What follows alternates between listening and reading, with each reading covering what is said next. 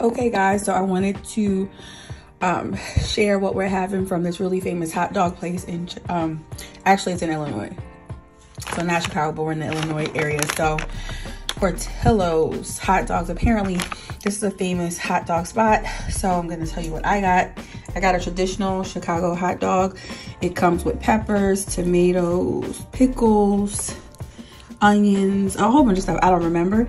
But this is their famous hot dog, so we're gonna try that. Got their fries. We got a side of cheese sauce. Um, then also we got, heard this was pretty good too. This is the I think Italian beef sandwich and it comes with some peppers, some, I guess roast beef or Angus steak. And then it comes with its own au jus dip. You guys know, if you know me, you know I'm a saucy person.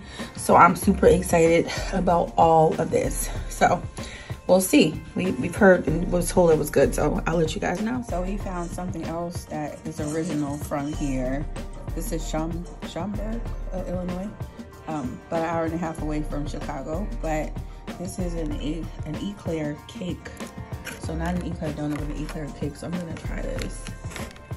It looks good, it's different. So I always wanna try different things when I go out of state.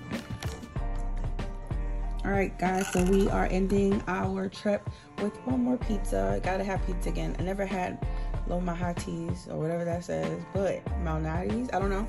Anyway, it doesn't matter it's Chicago style pizza. So we're gonna try it. We're gonna eat this again.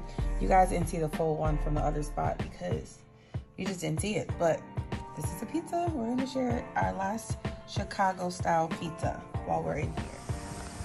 And with that, wrap up our trip. Beautiful location, beautiful hotel, huge hotel.